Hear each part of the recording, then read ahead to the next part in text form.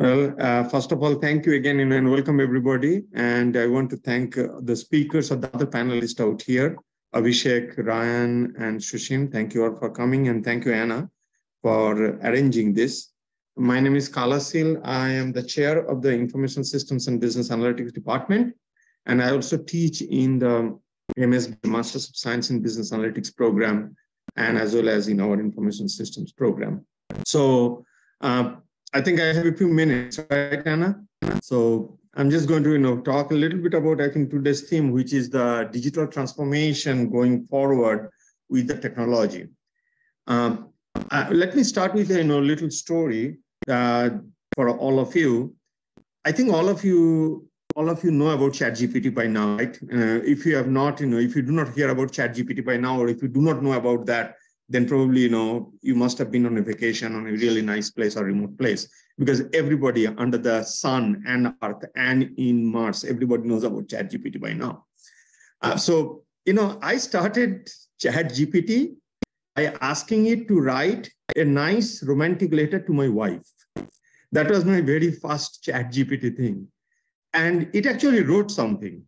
I took parts of it and then my wife is in India right now, and I sent it by WhatsApp to her. And she almost was replying back, you know, in like, you know, but before replying, she called me and she said, What happened to you? I mean, why are you writing such nice things? And I said, Well, that was Chat GPT. And she was super impressed. She was like, Oh my God, I was just going to reply back to you saying good things. And and then you know, we just had a laugh, you know. And so so, so that's what I'm just trying to tell you that the artificial intelligence, and especially nowadays, has gone to a level where now it is becoming really difficult for people, you know, to even figure out that you know which part of is right, which is you know, which is real, which is not real, and this is transformative in multiple ways, right? So integration of that in our life, you know, I call augmented uh, intelligence and uh, so, so let me just go back quickly. I think technology has always changed our life. Telegraph, right?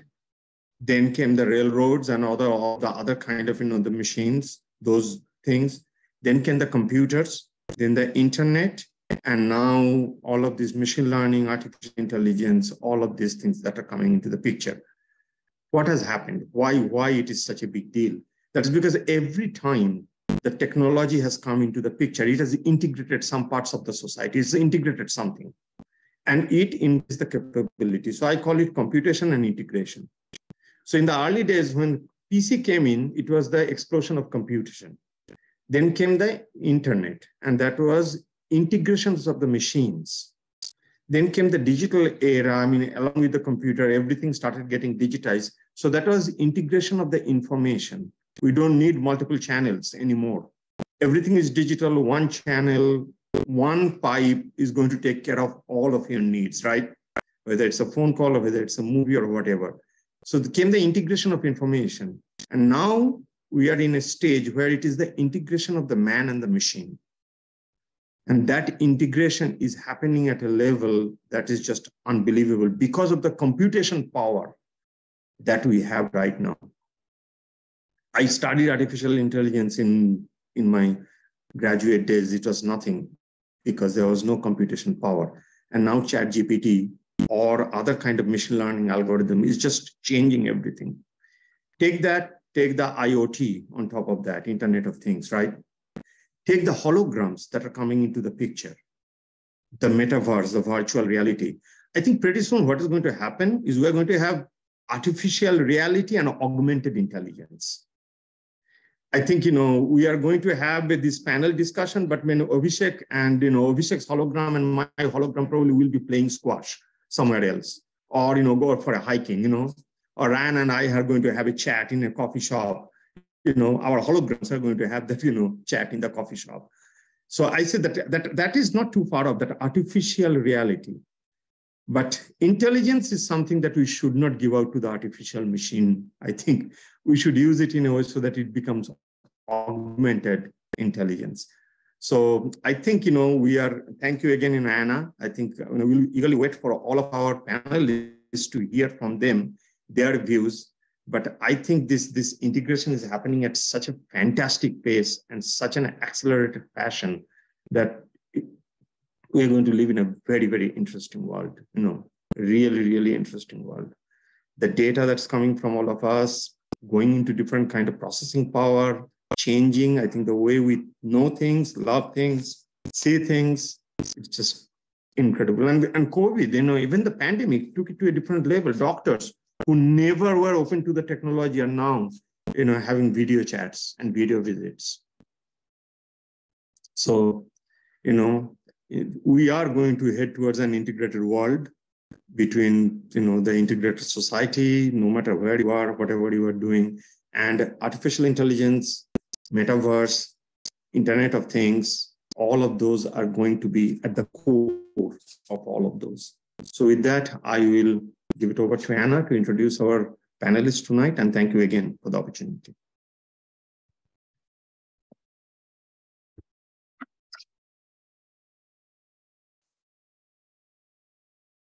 Thank you, Kala. Uh, that was really a wonderful introduction to our panel, and so appreciate your your uh, introducing um, the topic and the theme uh, to to our attendees.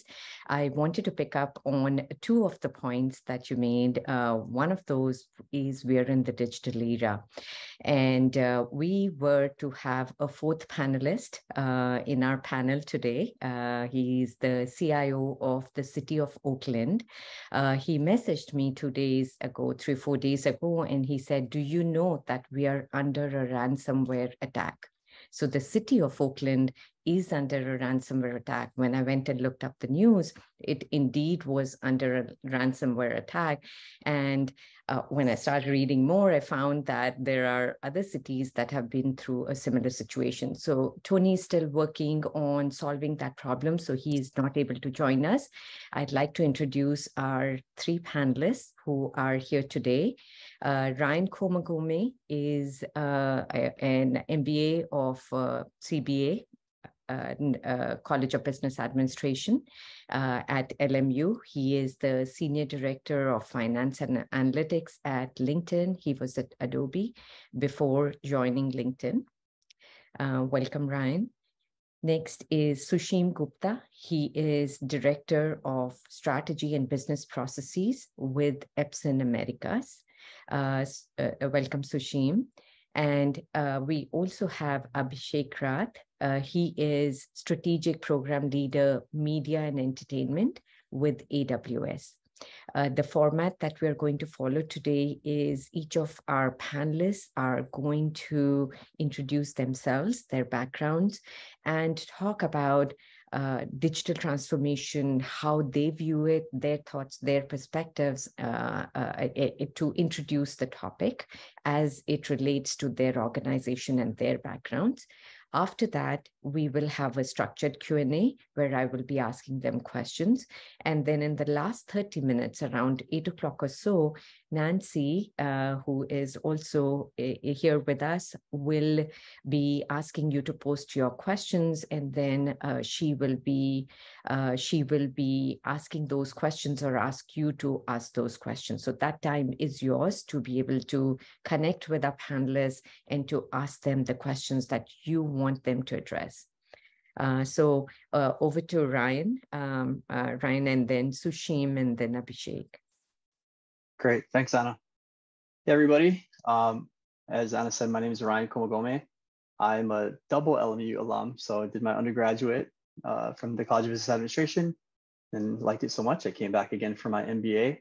So I'm loved I get to come back and talk to students. So thank you again for this opportunity. Um, most of my working career has been in tech. So as Anna mentioned, my longest uh, stretch was at Adobe. So I was there for 15 years. And recently I made the move to LinkedIn about a year ago. And where I'll come from on this digital transformation uh, panel discussion today is more from the finance and marketing analytics side. I started my career in finance at Adobe, and then I transitioned into the marketing world um, and stood up our a lot of our marketing practices there that allowed us to uh, transform the business. So this talk about digital transformation, I think it it goes nicely with kind of like the career path I had when I started Adobe. um, let's just take Photoshop, for example, probably our most well-known product or Acrobat. We were literally selling those in boxes that would go through your traditional distribution to resellers, and then we make it into um, whatever store that you decide to purchase it from. And about 10 years ago, we made the switch from boxes to a SaaS product where everything was delivered online through downloads. Um, and that changed materially the course of the business. Um, that unlocked a bunch of capabilities from the marketing side. It unlocked a lot of capabilities in terms of the organization and how they had to understand the customer, because now we're dealing directly with them uh, instead of having middle people. And we also needed to, you know, please the customer um, every single day because they're now down a subscription plan. And once we sold to them, we weren't done. We needed them to pay us the next month and the next month and next month again. So the level of responsiveness and the level of value that we had to give to the customer um, was was increased. So over that period of time, as we made the, the switch, uh, marketing made a big switch in terms of how we went to market, um, the different channels that we use so that we could interact with our customers. And that's what prompted me for make the switch from finance to marketing. And over my career, I got to do a lot of cool things. Um, we built marketing mix models. We built attribution models. We built um, our first lifetime value models, a bunch of A-B testing, cohort studies, and a lot of other ad hoc analysis to answer questions that we had that couldn't be answered through the existing tools. Um, but after a while, you know, I was there doing that for about 10 years. What I figured out was that no matter how good we got on the marketing analytics side and how many tools that we had and how much insight we could we could bring about how a market was performing in any given channel was that it wasn't gonna you weren't gonna get the full value out of it unless you could convince finance and finance understood what you understood because they controlled you know all the purse strings especially for a publicly traded company everything starts with finance um, you know they set whatever the profitability goals are what the revenue goals are and therefore what the expense was and how much marketing was going to get. So until you get finance over the hump, you could have everything and tell them and answer every question. But unless they were at that level that you were at to understand it, you couldn't fully get that change that you want in the organization or why all these tools are built. So when I got recruited to LinkedIn, that was the role to take there. So now I'm in charge of finance for marketing uh, and analytics. So basically, you know, I'm trying to take what I've learned and what I've developed on the marketing side and then put into practice and fund it and figuring out like what do we believe and what do we not believe and where we have a high confidence of marketing being effective we can fund them fully um, so that's the vision that's what we're building at linkedin and that's why i made the the switch to linkedin to try and influence the marketing and digital transformation through a different way um, you know typically you know engineering marketing are a lot more innovative than the finance teams. So getting them up to the same level that a lot of these other teams have gotten to through this digital transformation um, period was key. So that's um, kind of like a quick background. We'll get more into like the details and happy to answer any questions as we further into the panel discussion. But that's that's what I have so far.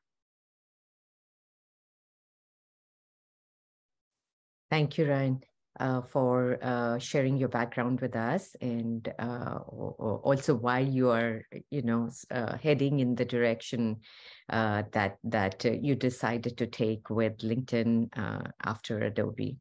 Thank you. so next we have Sushim Gupta, who's at Epson Americas. thank you, Anna. So um, what I want to do is, yeah, I'll give a brief background on myself. Uh, I want to talk a little more about Epson and Epson America. Uh, I think it's important to understand the, the business itself. Um, I, I, know several people may be familiar with Epson or familiar with parts of it, but I just wanted to kind of explain it in a nutshell. Uh, and then definitely want to talk about how we're leveraging digital transformation. Uh, I'll definitely say this right up front that we are definitely much earlier in our digital transformation journey than I think Ryan referred to um, thinking about Adobe and about LinkedIn. Uh, so brief introduction, my name is Sushim Gupta. I'm a director of strategy and business processes. Uh, I've been at Epson for approximately uh, 12 years now. Uh, prior to that, I was in management consulting, and my background before that was in engineering. Uh, so, thinking about kind of Epson, uh, Epson is a Japanese company headquartered in Japan, uh, about $10 billion.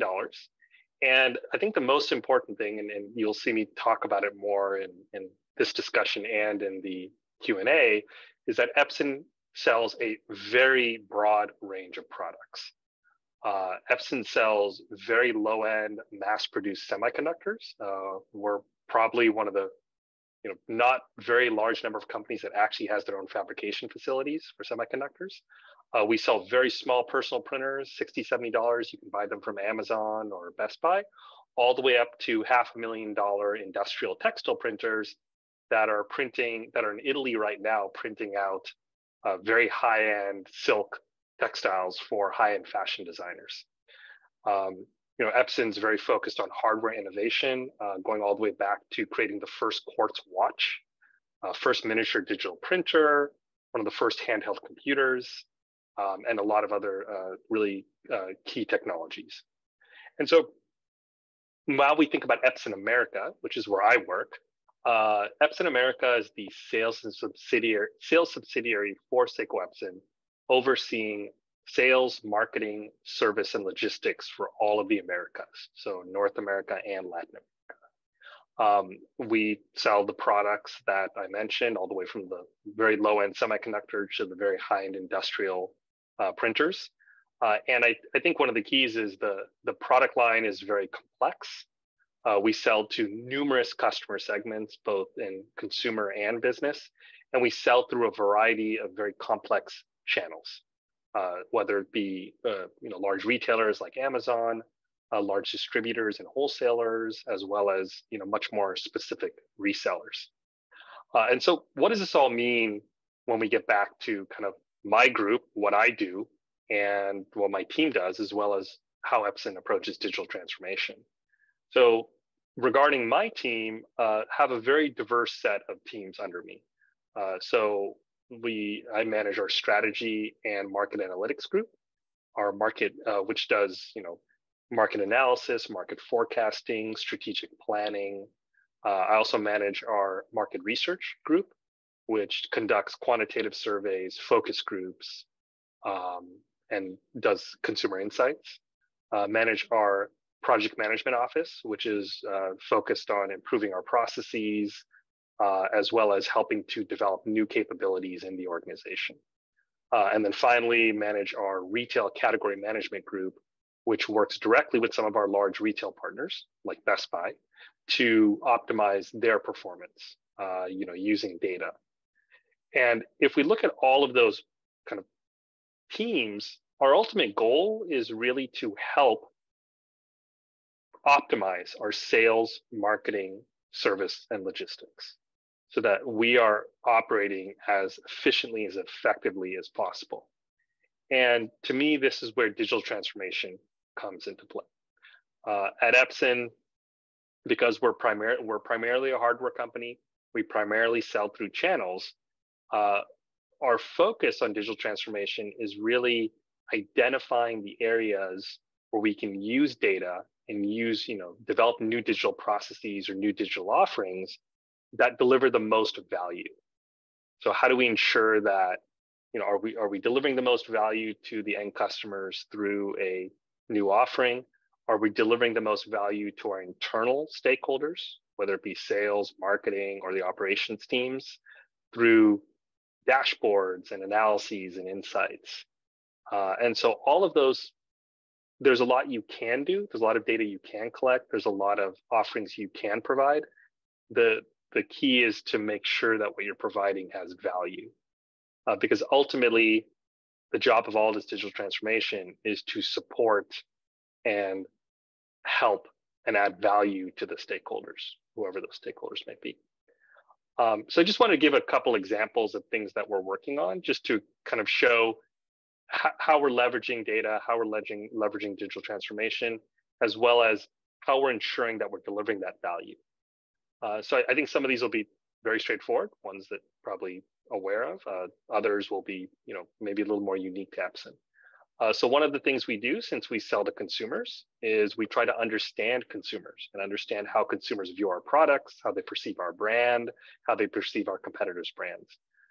One of the powers of one of the really powerful parts of digital transformation and the analytics capabilities now is the ability to collect reviews and analyze them. And so, you know, we are we work with several third parties to do that, to collect reviews, uh, collect social media posts, and analyze them, looking for sentiment, positive and negative, and informing what we should be doing with our products, with our service, with our marketing. And so it's it's a pretty simple example, but it's very powerful. Um, I'm thinking prior to being able to collect this data and analyze it, you would conduct consumer surveys or focus groups to try to understand. Now you have a much larger data set and a much more kind of sophisticated way of analyzing the data. Um, another example that we have, um, and I would say this is an example of really making sure we focus, is subscription. Uh, so several, for all the printers we sell, we sell the printers and we sell the ink. Um, and so we're always looking at potential subscription models for selling the printers and ink together, uh, you know, with a monthly fee or some sort of usage-based fee.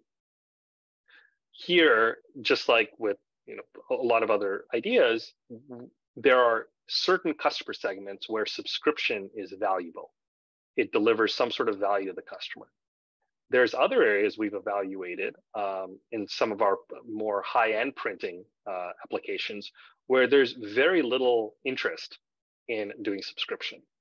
And I think this is really important in digital transformation in that um, at Epson, we want to make sure we're not just trying to deliver something that is not valuable and focusing our efforts on uh, offerings that are valuable.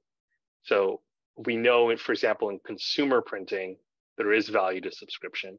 We know in business printing, there is value to subscription. So we are building out offerings in those areas. But we know in other printing areas, there's no, there's limited value to subscription. And so we're not offering that up. Um, finally, just want to take one other area where I, I know it's kind of a, a, big topic now. It's IoT. Uh, so because we have printers, they are mechanical devices and they break. They jam, they break, they need parts replaced. Uh, the ability to track the how those pieces of hardware are being used, how often they're being used, what issues customers are having, is allowing us to deliver a substantially better service experience to our customers. And so again, this is something where there is we know there's value to delivering this. Uh, where we're leveraging IoT to collect the data, and then we're leveraging big data to analyze it and again deliver better offering. Uh, we're looking at uh, we're, we're, building out predictive analytics capabilities that will again help us to predict when a customer's product may be having an issue, so we can proactively service it prior to it breaking. But these are the sort of things where they're very tangible. The, what you're delivering has very tangible value to the customer, tangible value to the stakeholder, and I think that's Epson's basic approach. We want to make sure that whatever we're doing has tangible value uh, versus delivering an offering where customers really don't or stakeholders don't really see much value in it. Uh, and so that's kind of where we are now. Uh, as I mentioned, we're pretty early stage, um, and we're we're continuing to expand our capabilities, uh, expand our offerings, uh, improving our internal operations uh, through digital transformation, and uh, we look forward to continuing on the journey.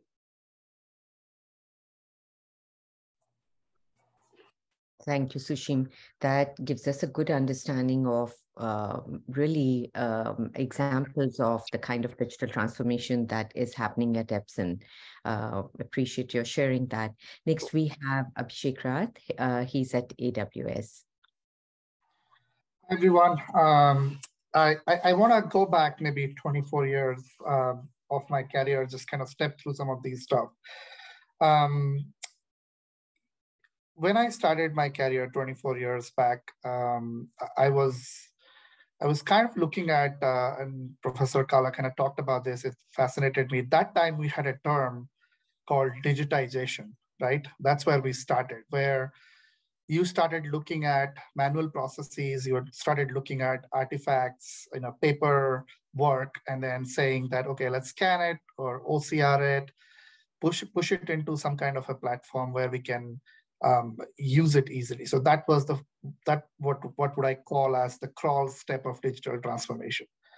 So fast forward to 24 years, uh, things have changed a lot. And uh, I think Professor Kala set up a pretty good precedence and Ryan and has kind of talked about some of that stuff um, as a part of their journey. So for me, um, prior to AWS, I was with Sony Pictures for about 17 years. Um, I was in a leadership position managing many uh, of the technology platforms that supported the global theatrical movie distribution, um, as well as uh, marketing and uh, you know sales function of the organization. So been through about four transformations. The reason I talk about all these four, not all of them are digital, but some of them are essential why we moved into digital transformation.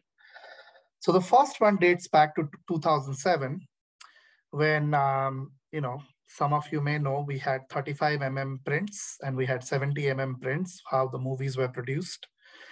And suddenly uh, we were working on our product, which distributes uh, th uh, theatrical content across the world the theaters as well as the integrators who are between the theater and the distributor, which was Sony Pictures, they came and said, oh, well, we want to start using hardware and sorry, hard drive and try to transfer movies through hard drive. So that for me was like an eye opener in terms of a customer's demand, whether it's a you know, customer in between the end customer asking to move towards that direction of changing from a 35 mm, 70 mm print to a hard drive and let alone satellite transfers and everything and that came along right after that, right? So this was sort of a, I would say my first sort of role into digital transformation where we had to think about a change in customer behavior, right? Customer is looking for a specific way of distributing content and now as a movie studio, we have to support that process. So that means we have to change processes. We had to change capabilities in terms of technology. We also had to be, bring in people who understood how to do this work to be able to encrypt, because you don't want anybody on the road finding a hardware and running Spider-Man and distributing it to their friends. That's not good for the studio, right? So we had to have security. We had to have many kind of mechanisms in place to be able to transfer that content to the theater securely. And this is across the world, right? So that was my first exposure. The second transformation I went through was agile transformation, which happened around 2011, 2012. You may think, why is he talking about agile transformation? But I think digital transformation will be more successful if you follow that agile methodology in terms of how you approach solving those customer problems. So going through an organization who was traditionally waterfall into an agile way of producing business outcome continuously and delivering value is an important concept that's an enabler to digital transformation. And agile was been has been there for 50, 100 years maybe, right? And all of these things were there. And Sushim and me prior, so when we talked about this, like we, we did digital transformation, we didn't even know it was digital transformation, right? So similarly, Agile existed for a long time and and that that was um, again brought us back to people process technology like key things that are required for us to move forward fast forward to a few more uh, transformations that i went through the final one while, while i was at sony was the marketing transformation they were looking at not pushing stuff to the customer in terms of campaigns but understanding what the customer needs and personalizing those campaigns towards those customers and with the advent of you know removal of you know cookies and all that stuff, that process has become very challenging for businesses, right? And to personalize for a customer to do things that a customer requires for us to do, it just takes enormous amount of effort, governance, and data to be able to get where they need to get to. So I think those kind of opened up my eyes. Fast forward to now, um, at AWS, of course, this is my personal opinion. This is not representing Amazon formally, but from what we do, it is, it is I, I, I categorize this as three things. It is a continuous journey in digital transformation, but I always look at it as crawl, walk, and run. Okay, so digital transformation, one of the key pieces of it would be to first looking at how do you use technology, talent, and process to adapt to customer changes and create those differentiated outcomes for the customers, right? So the first step in our process here is to migrate them to cloud or at least have a cloud presence so they can get that agility and scalability they need, right? Once the customers are in cloud, they look at how to optimize their business processes, right? So second stage, the walk stage is really looking at optimization. And once they understand what they can do and art of the possible, they go to the third phase, according to me, which is basically a run phase, which will be innovation. So I support customers in AWS on media entertainment segment across all these three different pillars of work. And as we go into the details of examples, I'll share a few sort of concrete examples of what we are doing for the media entertainment customers. So thank you again, Anna, uh, for the invitation. I'm glad to be here. Thank you, Abhishek, uh, for walking us through the various digital transformation phases that you've seen uh, throughout your career, or in at least in Sony and uh, as well as AWS. Uh, what we will do now is have all the panelists join me, and uh, we will move into the second part of our uh, panel discussion today, which is a structured Q&A. Um, uh, Nancy, can you help us do that so that we are all all here? Um, uh, in the in the panel? And in the meantime, I wanted to go back to when I when I brought up the topic of digital transformation and added that to Kala's digitization or digital era. I said I will make two points. Uh, so I did make one point, which was cybersecurity is a major risk and ransomware attacks can happen. The second point I wanted to make is leading us into digital transformation. That digital transformation helps us in the digital world. Uh, businesses in all sectors, in all business functions are, are looking to digitize. In some instances, as our panelists said, it's for problem solving and improvements. In other instances, it's for innovation. And it could be, as Abhishek said, it could be the various phases. Um, uh, I really liked crawl, walk, and run. Um, or, or it it it could be that that's that's what the organization needs to do right now, and that's what it's going to do. So I want want to open up and ask my panelists, um, where do you see your organization and sector in terms of uh, your digital transformation initiatives, uh, whether it's to do with data or or, or, or, or other types of digital transformation, focusing on your organization and sector?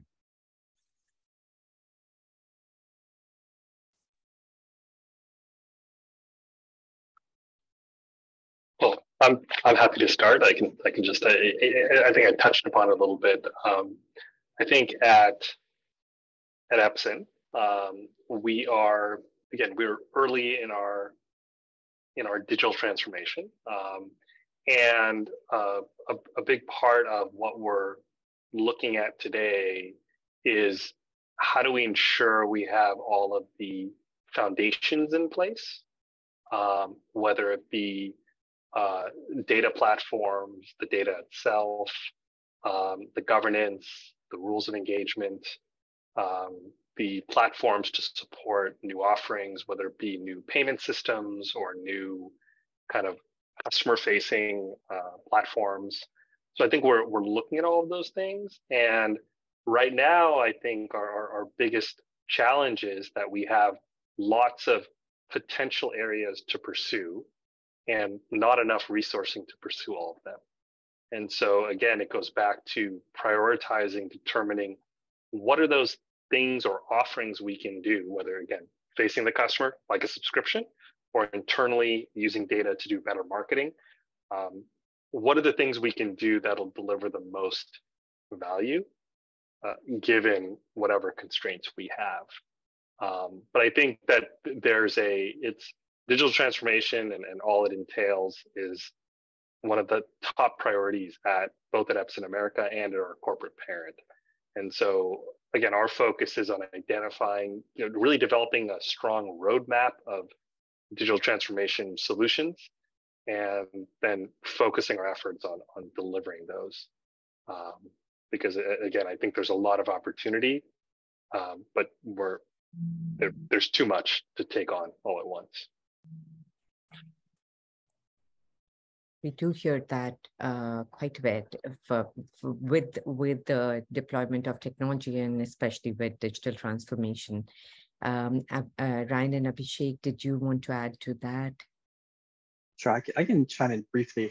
So at, at LinkedIn, um, I'd say different parts of the organization are further along this continuum than others. Our whole product is, um, you know, the flagship LinkedIn.com and everything. Uh, all our businesses are focused off of that. So we have like three main businesses. One is helping connect people that need to hire folks with people looking for jobs, and that's obviously done on the platform.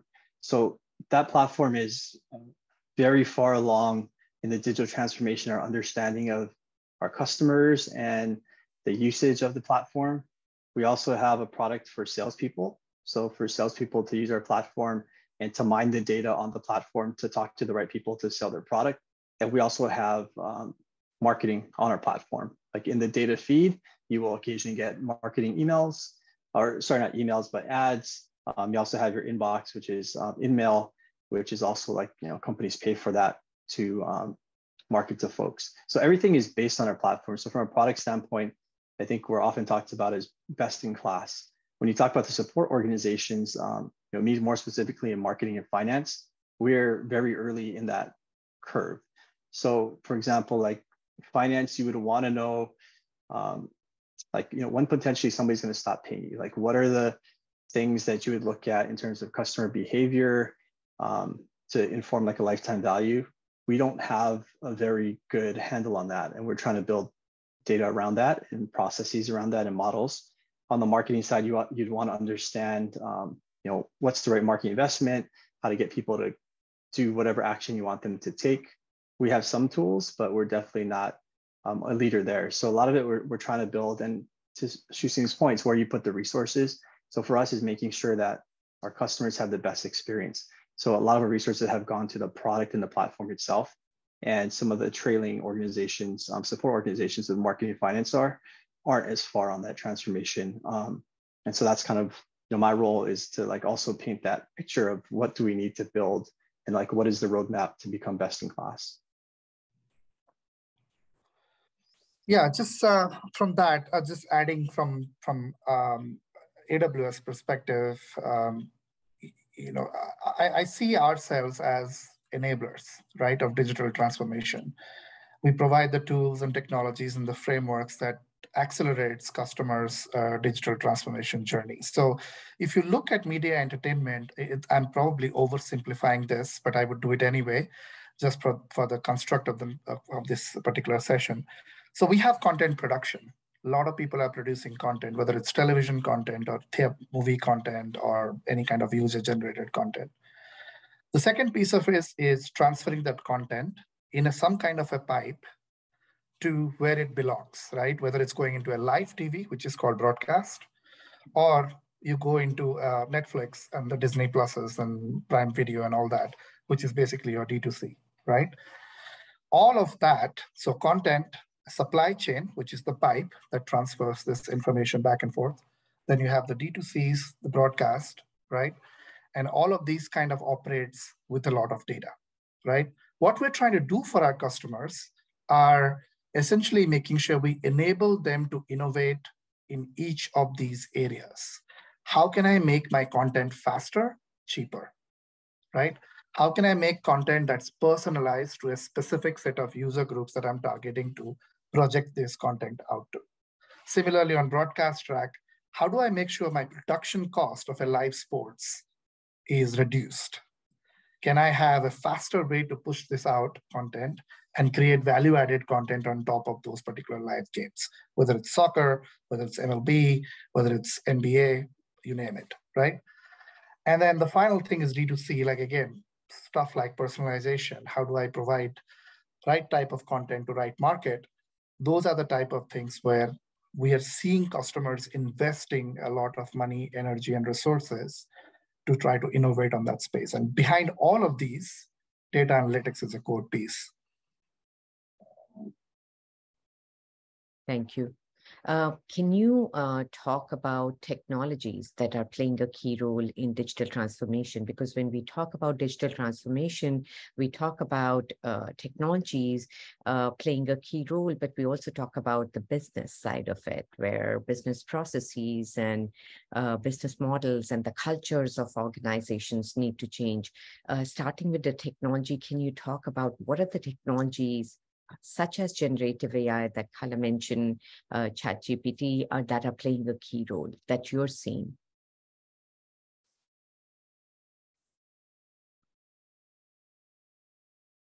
I can start, um, especially around ChatGPT. So LinkedIn is actually owned by Microsoft, and Microsoft, I think, owns 51% in ChatGPT.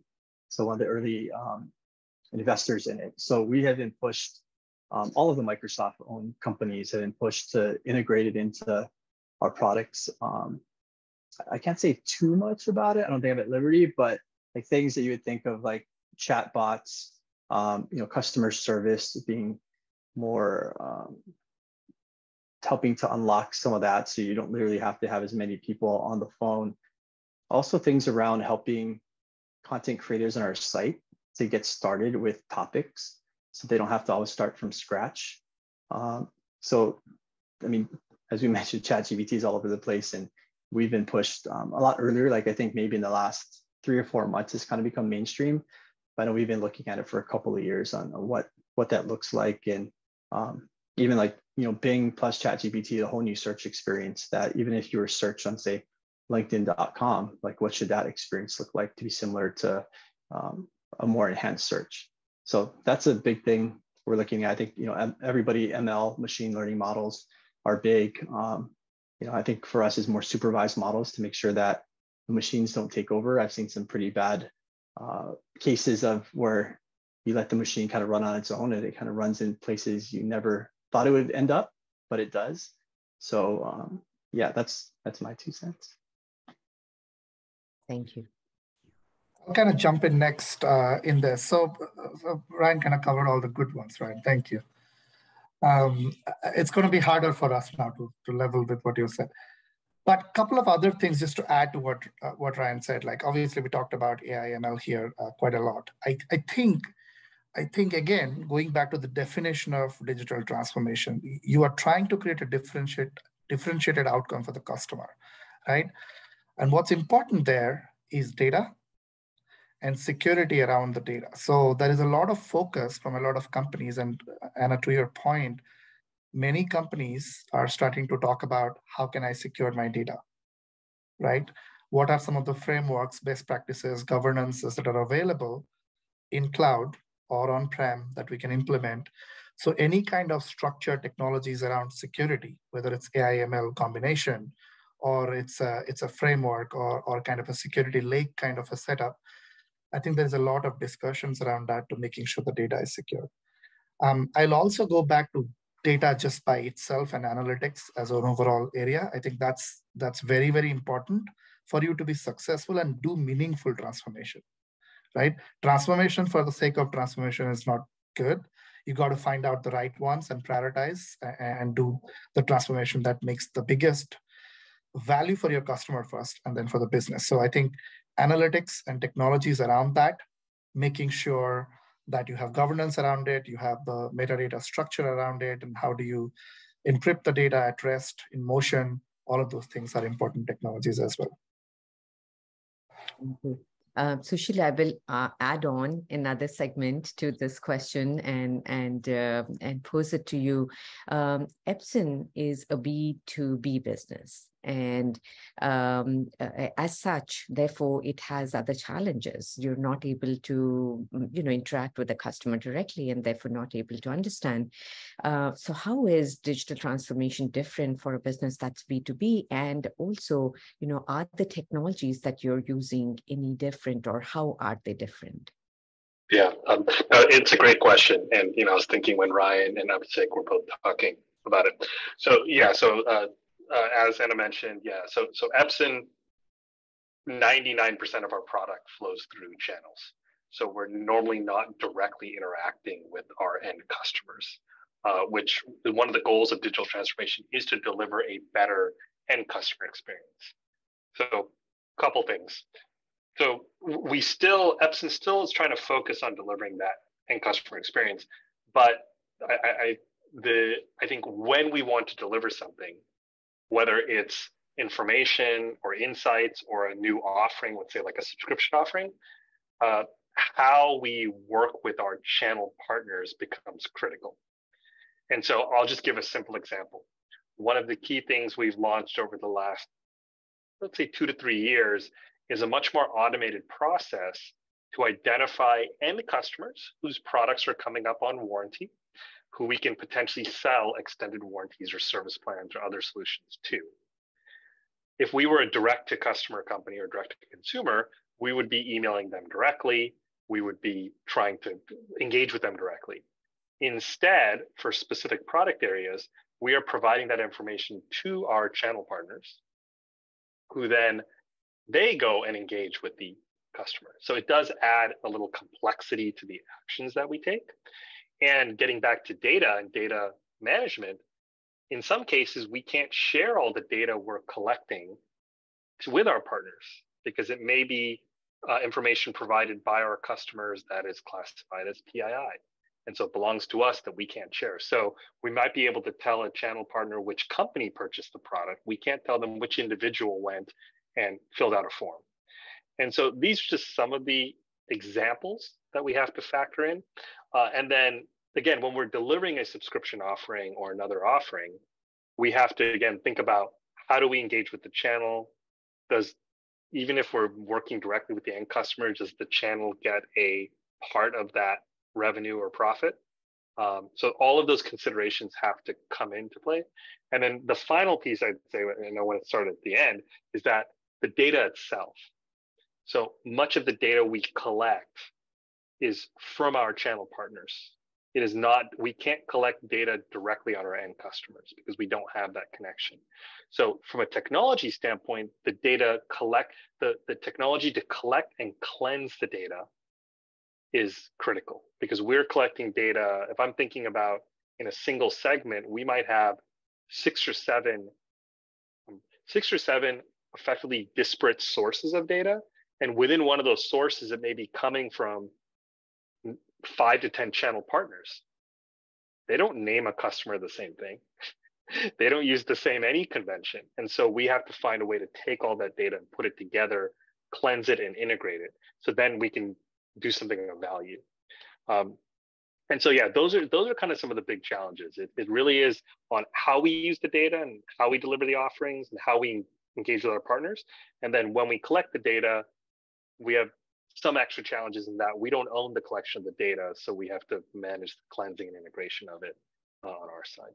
But yeah, there's there's definitely some challenges, and and, and I and I believe there's a lot of companies like ours who are working through these same challenges uh, when when they they're not directly connected to their customers.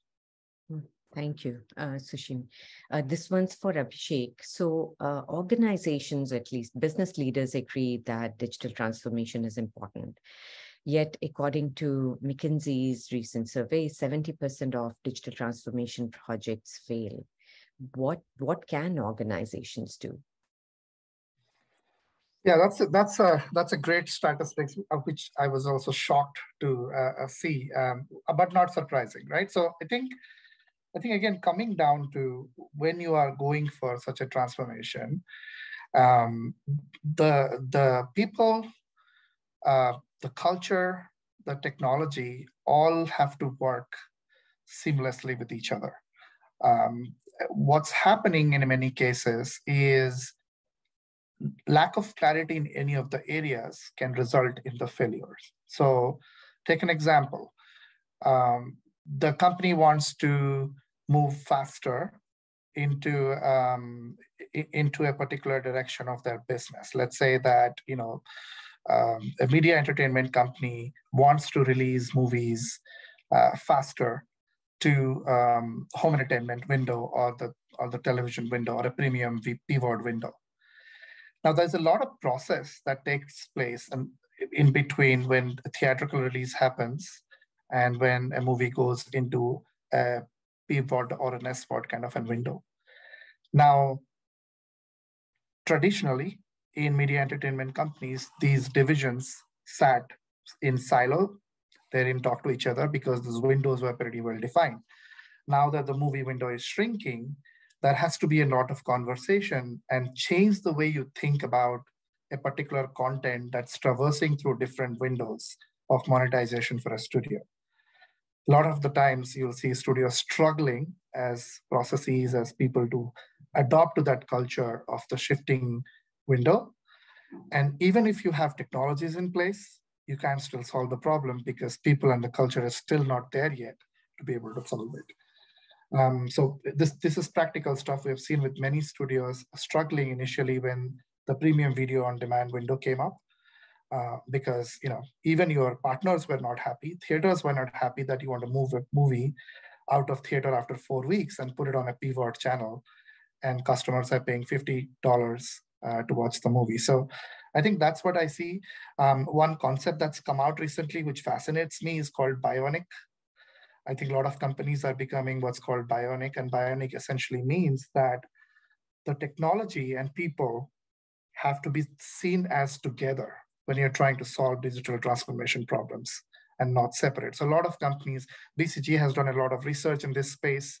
Um, and, a lot of companies are trying to go towards that direction because once you have those two kind of in sync, the success rate of this can go up significantly because they're in coordination approaching transformation.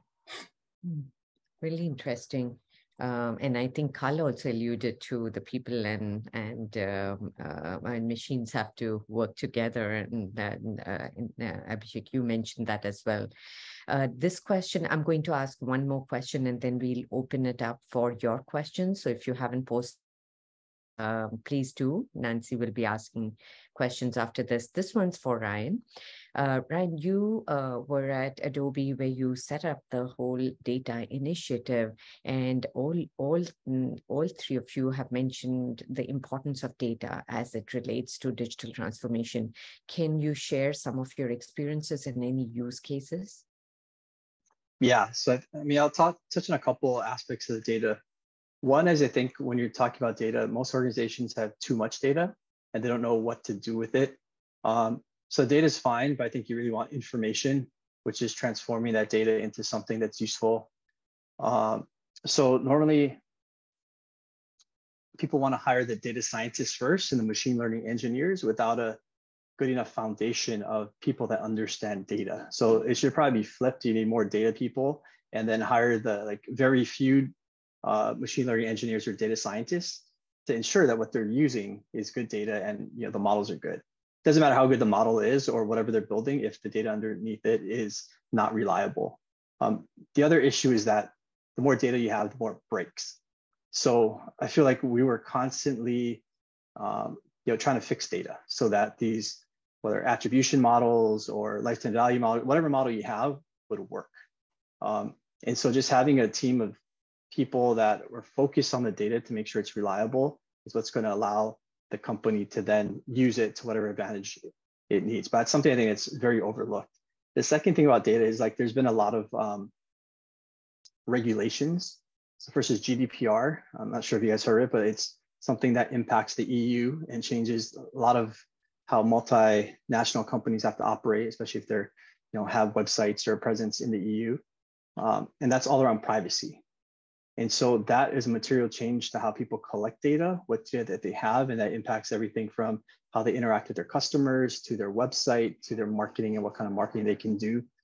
And recently, there's been the California Consumer uh, Protection Act, which um, basically takes a similar protection that the EU had with GDPR and now implements it in the US. And so people initially were like, well, it's just California. The problem is with VPN and where a lot of people are anonymous, it protects people sitting in California, even though it may look like they're not in California from like your IP address, whoever they're being routed from. And so what that does is basically you have to treat everybody now um, like they're residing in California, or like the lowest common denominator. And that basically said that you cannot have a separate experience for people in California or not, depending on what uh, information they want to give you. So now if you go to any website, it also says like, do you want to accept these cookies? Um, and that's because of the Consumer Protection Act, the California Consumer Protection Act. And that was a huge, also another huge way that organizations then have to manage data, uh, data that they keep, data they can collect, data that they can actually use. Um, and a lot of that has to do with marketing. I mean, marketing is all about data and you know personalization. So uh, that's huge in terms of how personalized people can give an experience to their customer, their end user, or their prospect, or whoever's coming to uh, do business with them. So I think those are like probably the two biggest examples around data and how it's changing all the time, and you need people dedicated to it to make sure you're within um, the rules and regulations and laws. And then on top of that, to make sure that the data is you know transformed into something useful. So I think one last example on data is that you know we at Adobe used to know exactly every single time somebody logs into the product, right? And that in itself is a ton of you know we have 20 million users on Photoshop logging various times of the day. That in itself isn't very useful. But like what we could do is build profiles. So if you logged into Photoshop between your nine and five, we would say like, hey, you're a workday creative. Like you go to work and that's what you do. You use Photoshop based on your login. And if you either logged in before nine or after nine primarily, then we say like, hey, you're um, you're uh, at home creative. So you go home and you like to you know play with photos and things like that. Uh, we also looked at when um, if you used it like these high bursts, and we see you're probably a student, you're probably cramming for a project or so. So we use that to then you know, inform to the actual information to classify people and then use that for marketing against them just based on like login. So that's just like a you know simple example of transforming like data into something useful and then somebody like a marketer could use to build a campaign to go find students or to go find people who are using it you know, day to day at their workplace. These are great stories. Um, thank you. Thank you so much, Ryan. Nancy, I'm going to hand this over to you for, uh, for uh, questions from our uh, attendees. Great. We have the first question from our own Professor Mascari. He asks uh, or says, I'm curious to see how Chat GPT and future large language models will be impacting various business areas in the near future. Any insight from the panelists would be appreciated. Yeah, I can I can go first on this one. Um, I, I was having conversation with a customer um, a few few day, few days back, a few weeks back, actually, in New York. Um, you know, it, just look at education, right? So let's take an example of education and how it can generative AI can impact education. So the way I see it, I, there are two ways of looking at it. So that could be that could be some apprehensions around, hey, you know, the students now have ability to go and find an answer to a question um, very quickly by using some of these technologies and tools that are available. And maybe the creative aspect of, of what they're being asked to do kind of diminishes because they have ready access to this information. But always remember that there is a fact checking that needs to be done as these tools evolve. Um, they are collecting data. I think the quality of the data or the fact is something that's still not fully vetted out. The other angle, if you put yourself in other uh, side of the story and see how can we use this to our, to our advantage in education would be let's frame the questions that we ask to our students differently. So that when you had to do secondary research for something and we, we talked about this example when i was talking to my customer is a lot of us do primary research secondary research as a part of some kind of an education at some point right? Primary education cannot be replaced. You have to go and do it yourselves. But when it comes to secondary research, it took us hours and hours of searching in Google and different databases to get to some kind of data that we could use to do our research. Now that time will shrunk. Is going to shrink significantly as you start to use generative mechanisms, of course, with the caveat that you have to look at the data quality. So as long as the question that are asked to the students are using this information to, to go into the so what or the implication or the impact, I think there's a good use case here in education for generative AI.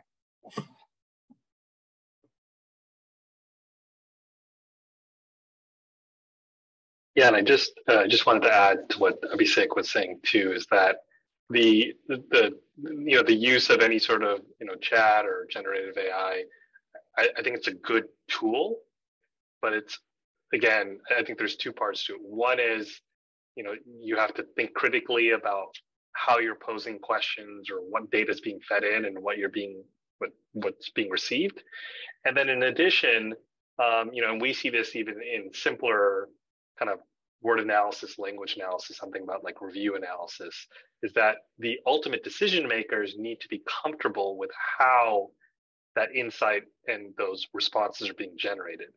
Uh, because in some cases, if you have a tool that's kind of a black box and no one understands how the outputs are, are arrived at or even at a service level, it becomes more difficult in change management to get people to use those tools. Um, because they'll see a response and say, well, I don't know where this came from. I'm I don't feel comfortable acting on this. So I'm not going to do anything with it. So that's part of it's just learning and getting comfortable. Part of it is thinking critically about what you're receiving. I think Abhishek mentioned you're always doing research, and part of research is to understand what's actually happening. And so I think that that's that'll always be I think that'll be a critical part with any new tool, any sort of AI or machine learning type tool. It's that you you a think critically about the response and b really get a level of comfort needed to be able to use the tools in whatever way you want to do it. Our next question is from Shu Wen. What is your perspective on the revolution of AI, such as ChatGPT and other related technologies? How do you see these developments impacting your company or industry as a whole?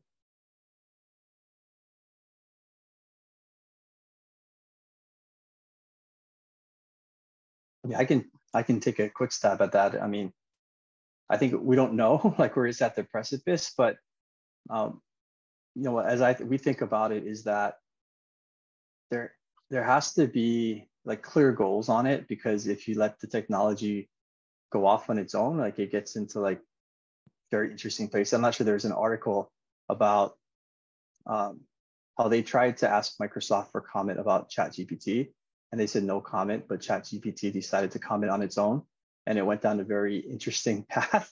Um, and so, like a little bit with like any kind of model, whether it's ML or AI, like there definitely has to be a human interaction to make sure that it's going in a place that you want it. I can give one example from Adobe. So we had a lot of ML models that try to optimize um, people's experience when they came to the website, but the model had a hard time figuring out multiple objectives. So it was either sell this person everything at all costs. And I don't care if 20% of the people have a good experience and 80% have a bad experience, as long as more people in the end buy versus um, I just want people to have a good experience and give them the product that probably fits best for them versus shoving in something down their throat that's uh, they'll probably buy because of lack of them knowing what's available. Like, you know, we could all sell the most expensive product. And so like some of these models would then do what's probably not best for the customer. So being clear about like what you're trying to achieve with it, it just goes down a path. And um, you know, that was one learning for us is that, you know, revenue was going up, things look great, but that wasn't completely aligned because we're selling people things that they didn't really need or we're overselling stuff. We're in a buffet, they just wanted like a dessert. Um, and so that's where I think it's it's got to be clear on kind of like how you use it and to like Dr. Seal's point of view is like augmented, um, you know, information versus like it's going on its own, artificial. This next question is a two-parter. What do you think is the one digital transformative advancement you would like to see your company move forward to? And then on the contrary, is there anything within digital transformation space that you would not want your company to incorporate or see as hurting or hindering the company's growth?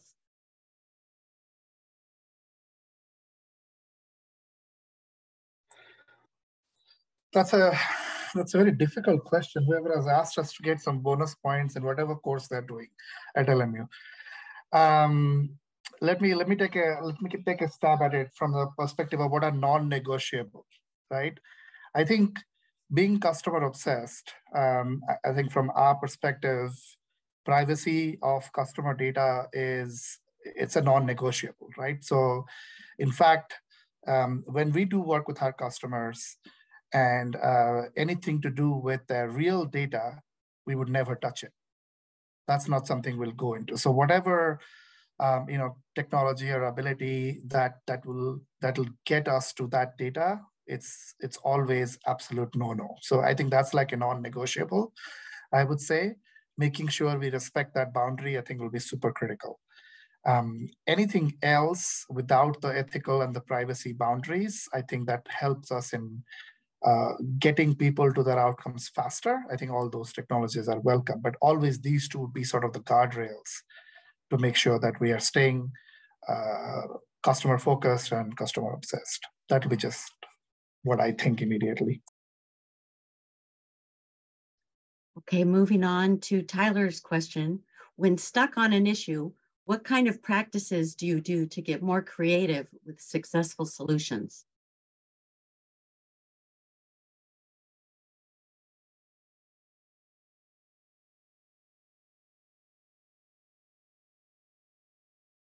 Um, I, I can I can go quickly. Is I think just opening up to a lot of folks. Um, I tend to feel like the younger people in the organization have the most ideas and people who are new to the organization because that's if you're stuck you're probably with a lot of people who've been there for a long time doing things the same way um, and normally the decision sits with somebody who's senior or they want somebody senior to chime in but i feel like pushing it back down into the organization gets you a lot more creativity if you're stuck they approach it in different ways um, they'll give you other ways to assess the situation that you probably haven't thought about. So that's kind of what I do in, in our organization.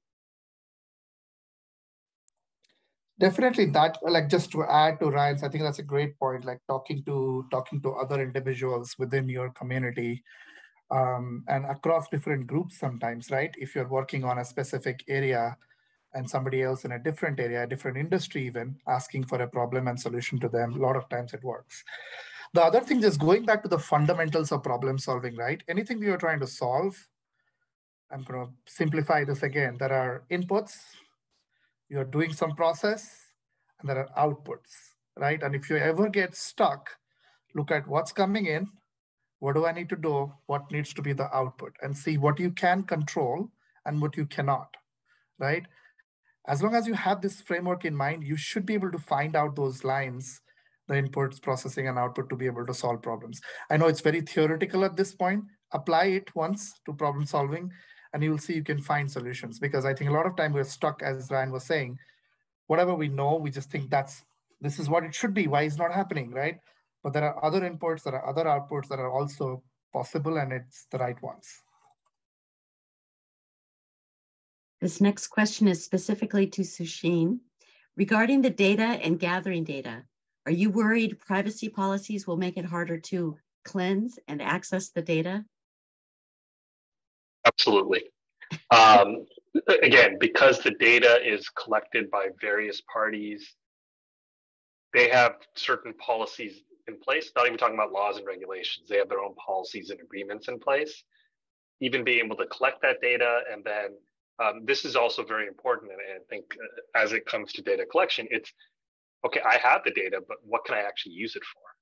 What am I allowed to use it for? What is the customer allowed me to use it for? So, yeah, and, and we see that all the time where uh, we have been collecting data for a specific purpose, either from our partners, and it, uh, it could be end customer data from our partners. And either the end customer has agreed to provide the data with some conditions, or we've agreed, the partners agreed to give us the data with some conditions we want to change what we're doing with the data, how we're using it, whether it's for delivering solutions or marketing. And all of that requires coordination. Um, and again, this is not even getting into laws and regulations. This is simply just policy. Um, I mentioned the IoT data that we're using. Uh, right now, our policies are, and this, our corporate policies are that any usage data that we collect, IoT data that we collect, can only be used for to directly serve back to the customer for their benefit. But if I, for example, want to say, well, I want to I want to identify my most profitable customers because they use the products the most, and I want to go market to them. At this current time, we're not allowed to do that. So that does limit the use of the data, right? The, the access and cleansing of the data, um, even though it's our own. And then we have many instances of uh, data we've collected from partners that we just we can't we have to redo our policies, redo our agreements in order to be able to use it. So, absolutely. Um, I think this is a general topic to say you have to have clarity about what data you want and what you want to do with it. And I think going back to Ryan's point, sometimes you have too much data or you're trying to get too much data and it's very possible that a large amount of that data just really you don't need to do much with it so you need to be very thoughtful about what you're trying to accomplish before you just say well i want all the data or i want all of this so absolutely it's, it's a great question and completely completely agree Sushim, we have another question for you. You mentioned you do not always have access to the consumer data. Is there a way to enhance or streamline the collection and cleansing of data from your diverse partners? Absolutely. So, um, so I uh, starting with uh, whether uh, so I'd say um, our priority right now is actually collecting our business customer data because we feel we can extract more. Frankly speaking, we can extract more value from that data. So what we've done is we've embarked on kind of an exercise over the last couple of years to identify where we might have what we'll call pockets of data and then improve those processes. So as a simple example, we provide sales incentives to our partners to sell product. But in order to get credit for the sales incentive, they need to provide us with who they sold it to, what they sold, the serial number of the product. That data we've had for a decade, two decades. We've never really done anything with it, but that's one of those pockets of data that we have uh, basically set up a data feed directly now, and we have a cleansing process in place to be able to ingest and use that data. Um, on the consumer side, yes, completely agree. So one of the things we're focused on is uh, it's, a pretty simple thing, um, is product registration. You buy a product, we find incentives or ways to encourage consumers to register their product right? Uh, we have a simple process online to do it. And again, that's a way to streamline the collection of the data. And if we're collecting it, then we can cleanse it as well. We can collect clean data. So yes, yes, uh, that is, those are, we're a big focus for our digital transformation right now is is kind of laying that data foundation and a data cleansing foundation and increasing the data we're collecting from our end customers.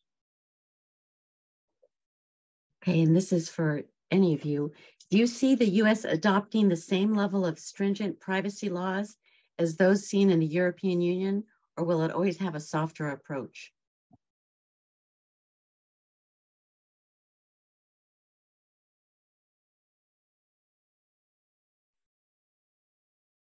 Uh, the Consumer Protection Privacy Act is similar to GDPR.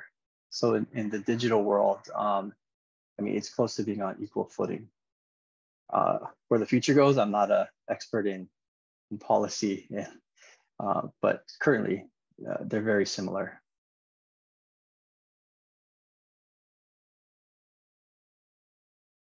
Jump yeah. To...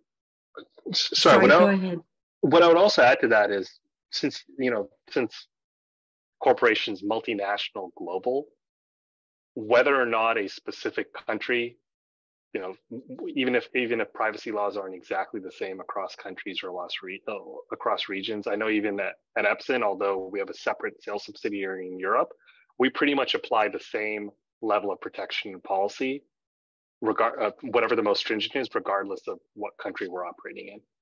So it's just because the the, the idea of boundaries of data between Europe, United States, Asia, it's there's not there's not as much boundary. It's a little blurry, at least for our company. So.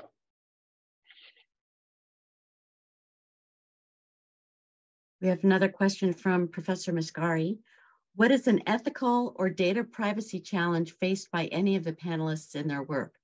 Any areas they think regulation is needed?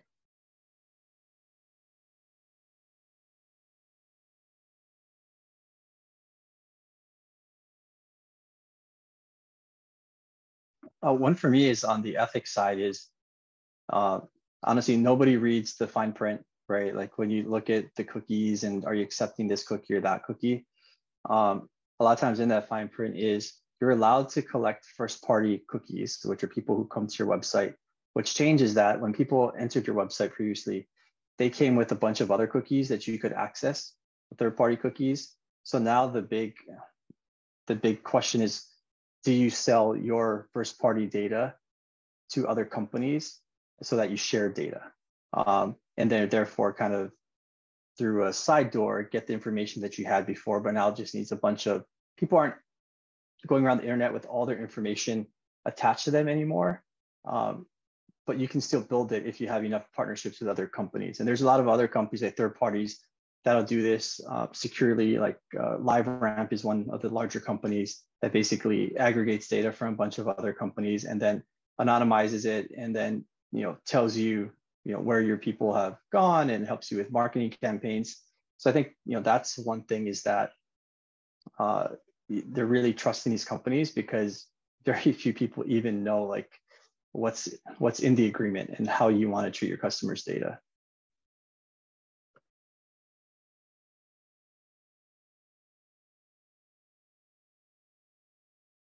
The final question, it was mentioned that the customer is a key priority in the success of digital transformation. In what ways do your companies ensure that the customer is happy with the trajectory the company is moving with technology? I think, um, you know, as I was kind of opening up in my introduction, for every company, it's a journey. So part of the journey, as I talked about, was crawl, walk and run, right? So when company embarks on any kind of digital transformation, um, you have to be able to provide the customer a vision of what the art of the possible is, right? Um, and it's not it's not a jump from one to the last. It's a continuous process of improvement. So you you do few steps to give them the sense of progress. So from our perspective, every time we work with customers on any of these journeys, it is very important to stay focused on the end vision, end goal of the vision, right? And as you move through the process, continuously getting outcomes that is, you're able to tie it back to that ultimate goal that you have. Because what I have seen in my career is if the customer doesn't feel a sense of progress in the direction you want them to go, they're going to be detached from whatever they're working on and they'll say it's not working. So it's very important to keep stay focused on that ultimate vision and then go those baby steps and give them those outcomes that ties back to that ultimate vision. I think that's that feedback loop is necessary uh, to keep the customer engaged uh, towards uh, achieving that end goal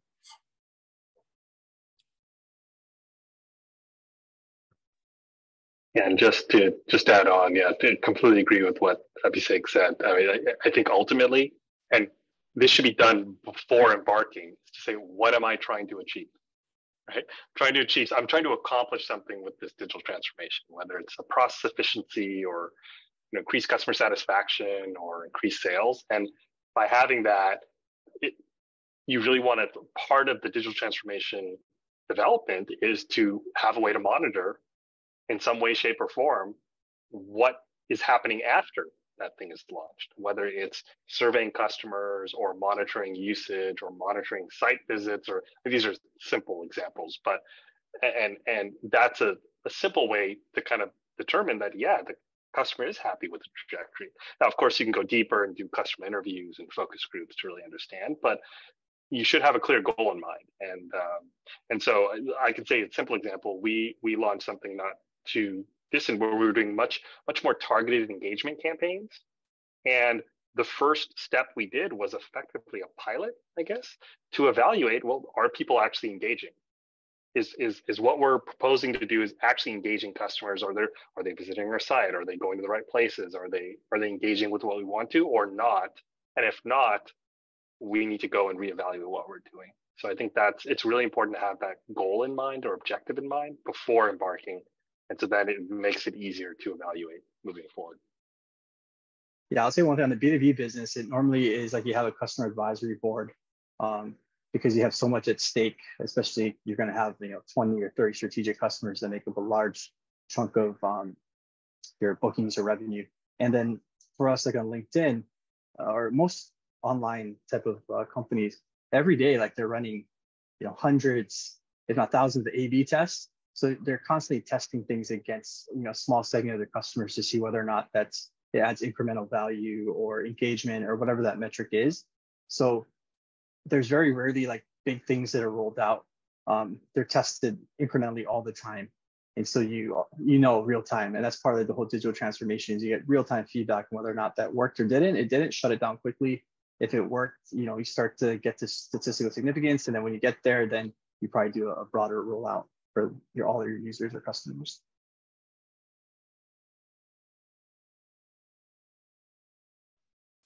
Uh, that that is really helpful. Thank you so much. I want to uh, ask one last question, and that's for all three of you. And that is, so how can our students prepare for this digitally transforming world? If they're interested in working for any of your companies, for instance, um, how how should they be preparing while they're in school?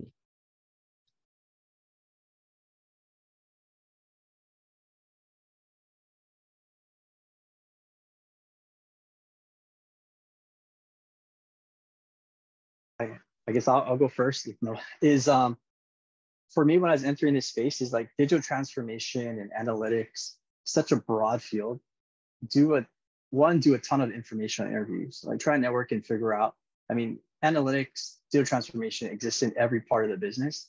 So you'll need some, you know, I'd say basic skills, like foundational skills that can go and be taken with you wherever you go in an organization. But there's also some job specific skills. Like for me, it's you know marketing. So you don't have to be a marketer, but it's good to know some of the concepts of marketing so that you're applying your models, your analytics to that because you're talking to marketers, right? And so you need to know a little bit their language and making sure they understand your concepts. So first is figure out like what do you want to do in this very very broad field and understand like what people do on a day-to-day basis and then from there i think you can kind of build back um, a path like you're going to get a great foundation from the programs at lmu but then getting that next level of of uh, training, like through some of your maybe elective classes, like in marketing or in uh, product design or something, um, but that'll help you set up for more specific job within analytics or you know digital transformation.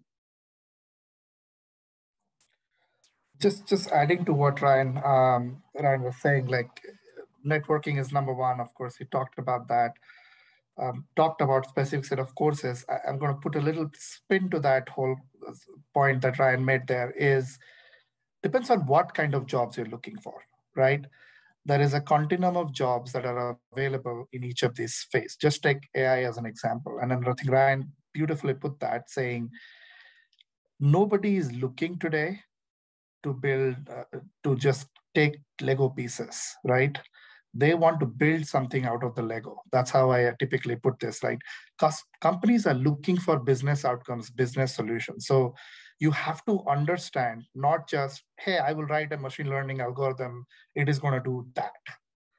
That's not enough anymore today to be successful. I think what's needed is you understand the context and purpose behind what you're doing and that's important. So do the courses that will give you that understanding. But again depending on whether you're going to a hardcore tech field or you're actually going to be that business leader who is going to enable tech teams to work, your knowledge, subject matter knowledge has to be quadrupled as you're going towards a business leader. So, so depending on where you are on that continuum, you're going to have that context, but as you move towards a leadership position, you will be more sort of away from technology, just understanding structurally how it is, but really understanding to focus on the business, business processes and outcomes.